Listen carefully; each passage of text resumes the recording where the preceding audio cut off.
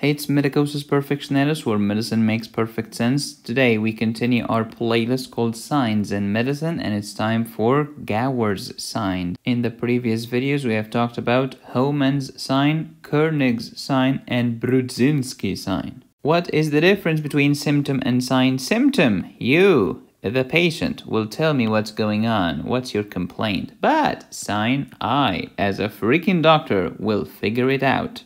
Signs are divided into clinical or physical signs and radiological signs. Example of a clinical sign, Homann sign, Kernig sign, Brudzinski sign, and today's topic, Gowers sign. Radiological signs include stuff like donut sign, seen in intussusception's ultrasound. Steeple sign, you can see it on x-ray in cases of croup. Moreover, thumbprint sign seen in acute epiglottitis on X-ray. Please watch my previous video on Duchenne muscular dystrophy and another video on Duchenne muscular dystrophy mnemonic. Do not confuse Duchenne muscular dystrophy with Erb Duchenne palsy. Gowers' sign is positive in Duchenne muscular dystrophy.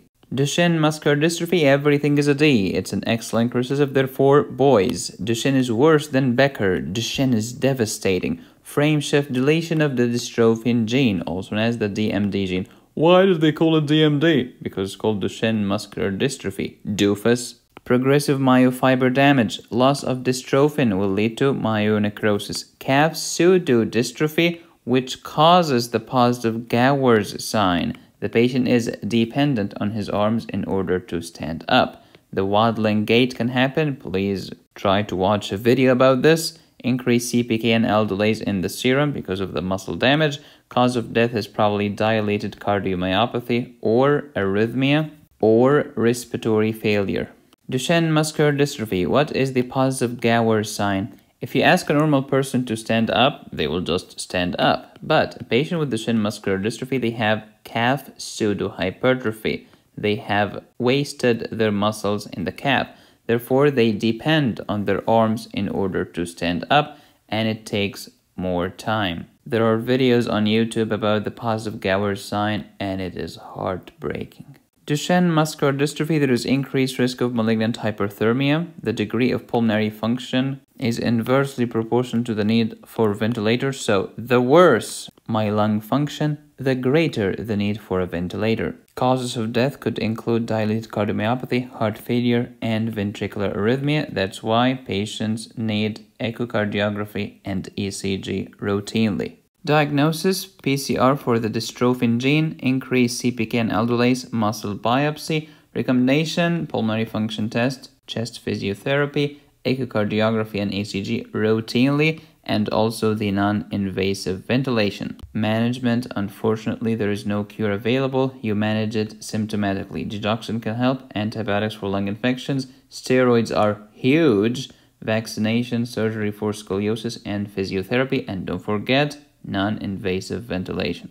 I've just received this comment on my video on Duchenne muscular dystrophy and it made me so sad. I have muscular dystrophy and my brother too but sadly my brother has died at age of 16 because of a heart condition and now I'm 20 years old and I'm more scared now because I watch a lot of videos about muscular dystrophy and it's always saying that at the age of 20 the person with muscular dystrophy will die because of a heart condition.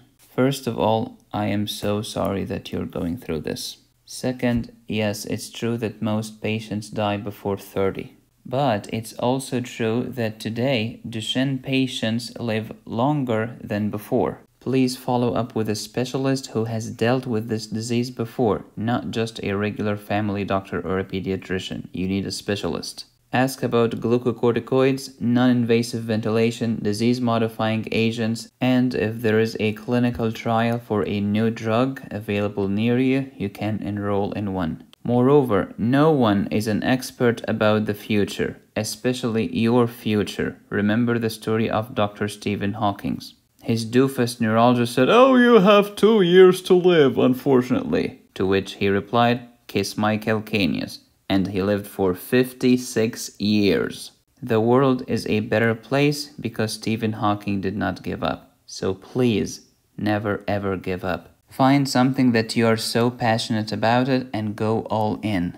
This could make a difference. I've seen your channel and you're very creative. Your song with the headphones trick is just brilliant. And to all my students watching, please go to my video on Duchenne muscular dystrophy and reply to his comment. Let's give him some love.